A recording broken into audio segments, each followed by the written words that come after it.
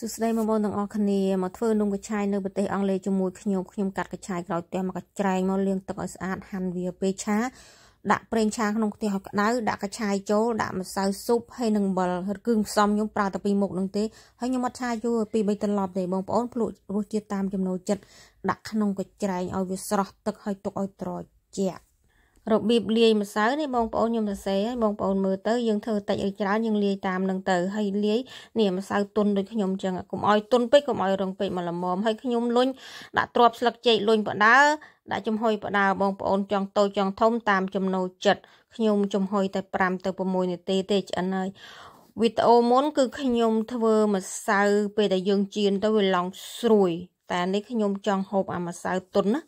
នេះរូបមន្តលើកមុនខ្ញុំសរសេរនៅនឹងបងប្អូនទស្សនាមើលទៅហើយសូមបញ្ជាក់ណាម្សៅនេះគឺលាយទឹកត្រជាក់ណាបងប្អូនមើលម្សៅនំខ្ញុំឡើងទុនបើមានការខុសឆ្គងត្រង់កន្លែងណាមួយសូមអធិស្ឋានផងសូមអរគុណ